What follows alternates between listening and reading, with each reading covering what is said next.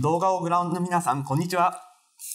えー競馬ブック TM トーク、えー今週は阪神競馬場で行われますエリザベス女王杯の展望を、えー、美穂の編集部より行っていきたいと思います。出演はですね、えー初登場になります、えー勝ち馬の、えー高橋剛トラックマンです。勝ち馬さんよろしく、あ高橋さんよろしくお願いします。勝馬です。す すいません。まあいきなり間違ってしまいましたけど、はいえー高橋剛さんということで、まあ、高橋さんといえばですね、まあ、あの、グリーンチャンネルに出演されてますけれども、はいえー先週ですね、トラックマン TV でですね、えー、京葉インサイステークスの予想をしまして、えー本命キングエルメス、対抗東進馬行ということで、単勝と馬連をダブル的中で、はいえー払い戻しが50万オーバーということで、おおめでとうございました。ありがとうございます。久々に来ました。久々に来ました。いや、はい本当素晴らしいですよね。はい勝負レースでバッチリ的中ということでですね、まあ、今週も、まあ、そうですね。そうですね、ここで当てていただきたいと思いますけれども、まあ、またですね、高橋トラックマンの、まあ、プロフィールを紹介していきたいと思いますけれども、えー昭和48年の、えー9月9日生まれで、えー担当は、えー南馬場の想定班というところですけれども、まあ、主にどの辺の厩舎担当ですか？えー、そうですね。えー小島茂さんとか、い。武藤さんとか、高橋豊さんとか、水野さんとか、はいはい、そういう感じで。えーそのはい辺あたりを、まあ、担当していらっしゃるはいということですね。どうですかね、こう、今までこう、トラックもやってきて、こう、思い出のレースであったり、まあ、馬であったり、なんかいますかね？そうですね。昔の話ですけど、昔ね、入社2年目で本誌、はい。えー任されて札幌で。はい。はいで、そこで自分の一番仲いい厩舎の馬が、美穂から使いに来たわけですよ。で、その馬が、えーその13が、勝つために連れてきたと、はいいうふうに連れて言ってきたんで、まだね、その頃ね、えー取材でそんなすごいいい感触を得たことがなかったのでね、初めてそういう取材ができたということで、本誌本命して、その馬がしっかり一番人気に応えて勝ってくれて、はいこれは嬉しかったなという。あそれが、えーこちらのそうですね、資料にも書いてありますけど、リワードニンファ。はい。あのーまだね、2勝クラスだった時ですね。このままもっと上まで行くということで、うん、えーすごい、えー取材の感触が良かったと。まあ実際、その後ね、日本レコードで重賞勝つぐらいの馬になりましたから、間違ってなかったんですけど、本当にこのレースは嬉しかったですね。はい。まあ、入社2年目で本誌予想っていうことで、まあそのまあすごいと思いますけどね。はい。まあ、あの、その頃はみんな各自でやってたつもりなんですけど、はい。まあ、ちなみに、えー、まあ、先週大的中でだったわけですけれども、まあ予想するときに、こう、なんていうんですかね、ポイントというか、どの辺をこう注そうですね。あのーまあ、いろんな人にね、あの、取材しして、いろんな要素もか考えるんですけど、えーと週の半ばぐらいは。はい。もう予想の段階は直感できます。で、そうですね、あの、馬券、予想というか馬券なんですけど、レースぶり見て、自走狙いとかチェック入った馬、はい。これをひたすら、もう多少、うん、ここはちょっと相手強いかなとか思っても、そこで考えるのやめると穴が取れないんで、はい。もう決め打ちでそういう馬を見つけたら、本命を売ったり、まあ、単勝買ったりし、そういう感じで馬券を買うっていうのがスタンスですね。はい。まあ実際、まあ、キングエルメスも、もうその過去のレースで、こう、あれですか？そうなんですよ。まさしくそうで。2走前チェック入って、前回はちょっといろいろ訳ありみたいな競馬で負けたんで、この馬はもっと広いコースで、しかも左回り走った方がいいんじゃないかなというふうにもう決めつけてたんでね。調教とか動いてなかったんですけど、もうそういうの見なかったことにして、で、本命打って勝負して、で、たまたまハマったと。もうこういうハマり待ちのスタイルが僕のやり方なんで、今後もそれでいきたいと思います。ということでよろしくお願いします。あとですね、まあ、本題のエリザベス女王杯に入る前にですね、はいあの、先週の結果発表していきますけれども、えー先週アルゼンチン共和国杯を予想しました。えー出演しました勝ち馬の、えー、住川トラックマンが、えーロードマイウェイ本命だったんですけれども、結果が13着。研究ニュースの藤原トラックマンはですね、えー勝ちましたオーソリティ本命だったんですけれども、ちょっと残念ながら2着のマイネル・ウィリトスが抜けたということで、えー残念ながら的中ならずという結果になりましたので、まあ、リベンジということで、ねはい、やっていきたいと思います。ということで、まあ、エリザベス女王杯なんですけれども、まずですね、えー競馬ブックのですね、本誌のですね、レース単表というのがありまして、これが、えー上位拮抗というふうになっています。またですね、えー舞台となります阪神の、えー2200メートル内回りのポイントなんですけれども、えー逃げ切り、逃げ粘りは極めて難しく、えー注意から指すタイプに、えー照準を定めるべきだというポイントになるわけですけれども、えー高橋トラックマンのですね、えー印どころを、えー発表していきたいと思います。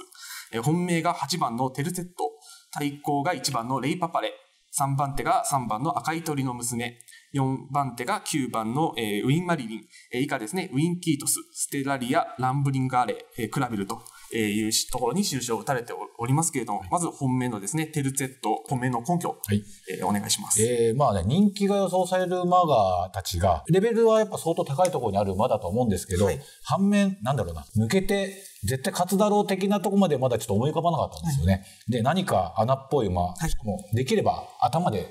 突き抜ける可能性がある馬というのを探してみて、この馬に行き当たりました。はい。実際この馬って2回しか負けてないわけで、1回はビクトリアマイルはこれも流れ馬場その他全く合わなくて、まあ度外視できるような競馬だと僕は考えてますし、あと1回負けたのがまだ若い時期で、はいあの、今ちょっと軽く伝説になってミモザ賞ですね。そうですねあの3着で負けたんですけれども、え負けたのはウィンマリンとウィンキートスいますけどね、はい。まあ、今回出てますけれどもね。はい。実質だから、この馬たちにしか負けてないぐらいのふうに思ってるんで、そこを見せてないということで、はいまとめて任す可能性があるのはこの馬かなと。で、前回のクイーンステックスですか。はい。あの、まあ、立ち回りも最高にね、あの、この時はルメールジョッキー乗ったんですけど、ただあの足を見ると、乗り方一つで全然距離を保つなっていうのも分かるような競馬だったんで、それでえー今回初距離なんですはい。あの、やっぱ一番そこがね、基本的にマイルでずっと勝ってきた馬なんで、ポイントなんですけど、あのクイーンステークスの1008の競馬の直一戦一騎、はいあれ見ると足の溜め方次第で今回も内回りですし、はいで、距離大丈夫だなと思ったんで、まあいい方に考えて、この馬のさばきと直線一騎、それを期待して運営しました。ね。本当にもうあれよあれよという間にこう重賞勝ったぐらいのこう一気にこう勢いをつそうなんですよ。けてきた。本当そこは見せてないと思います。そうですよね。うんまあ久々になりますけど、その辺も特に問題はないです。そうですね。まあ、なんか仕上げ、ね、ミスは許さないというかね、そういうノーザンファームの、ね、仕上げできてますし、テンション面でもね、はい。むしろ上がるのがね、輸送で不安なぐらいのもんで、逆に言うとし、力出せちゃうようなね、はい。そういう気象でもあるんでね。初戦からはいっていう感じの、うんそういうイメージです。はいまあ、確かに追い切りで見ても確かになんかすごいこうゆったりとこう、うん前向きですけどそんなにこうテンションも上がらずっていう感じで。その辺気をつけて調整してくれてたりですいいけどね雰囲気で走れてたなという印象はありますけれども。ということですね、えー続きまして2番手がレイパパラですね。こちらはどうでしょうか、えーと、なんとかイメージ的な格で言ったらこの馬が一応抜けてるかなと思うんですけどね、そのオス馬の、えーフル馬の強いとこと、はい。めちゃくちゃ強いとことやって、はい。えっ、と、実際に大阪杯では勝って、宝塚でも3着なんで、はい。大祝いできるね、戦歴なんですけど、ね。普通ならこの馬なんですけど、やっぱりちょっと2200だと微妙に甘くなるというイメージが湧くんですよね。ここあの2戦がちょうど2戦、はい確かに高塚めちゃくちゃ相手も強いですけど、いつもと違ってそこまで前半かかってる素振りなかったのにやっぱちょっと甘くなった風に見えましたし、それはオールカマーも一緒なんですよね。休み明けで、しかも内々競馬だったっていうのがリビーても、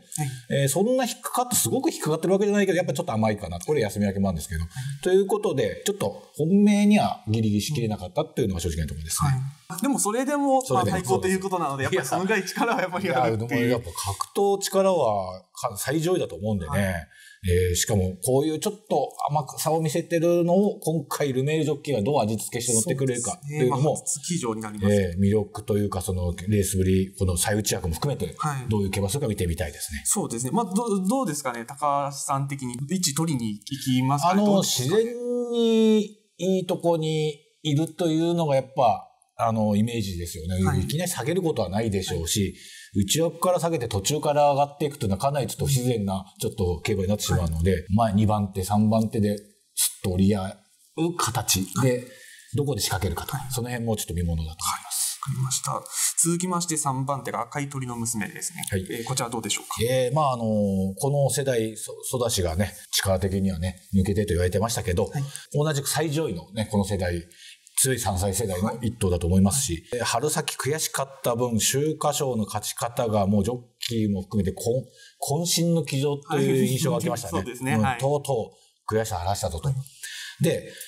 阪神の内回り2戦で勝ったんですけども、僕はやっぱ基本的には府中コースがベストだと見ているので、はいはい前回は渾身の騎乗でしたけど、阪神の2200で、えー内回り。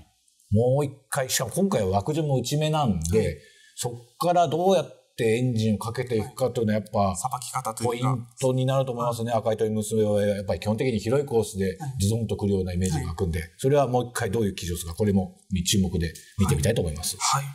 えー続きまして4番手が、えーウィン・マリリンですかね。はい、前回のオルカマー、1番、2番決着とも典型的な、つっても、あの、この1、2着のウィンは強い、えー馬なんで、えー枠順でうまくいったわけじゃないんですけど、まあ、うまく立ち回って勝ってくれましたし、えーまあ、基本的に中山の鬼的なイメージがあるんですけど、えー昨年のエリザベス女王杯でも、えー4着と来てますし、去年も阪神の2200でしたね。そうですね。はい。はい。で、去年の三上位3頭が、外から決め手で来たみたいな上位3頭だったんで、違う競馬をした中では唯一番最先着してるなというイメージもあったんで、最内からこう、はい。一そうなんですよ。度抜き切るかっていう感じでしたけど。だから内容的にはすごい濃かったと思いますし、前でしぶとさ生かすけ競馬が上位来るイメージの競馬だったら、この馬がやっぱり強い。なと思うんでね、そういう競馬になるかどうかですね。はい。でまあ、確かにまあエリザベス女王杯、もう上位3頭が確かにこう強か強い馬ですもんね。ああ強い馬がすごい足で勝ったという印象なんですけど、まあ実際その中で違う競馬したのがこの馬だったということですね。はい。ここでもということですかね。はいまあ、白三角の印どころ、まあ、一言ずつでいいので、まあ、コメントいただきたいんですけれども、ねまずウィンキートウィンキートスはやっぱりその前回はこう立ち回りと。一方、3走前の目黒記念では、えっ、と、まあ、いくら長スロー対え、ちょっと32秒5という上がりで勝ったと。そこ知れぬところは持っているのでね。そんな足使えるのかっていう感じでしたけど、ええだから、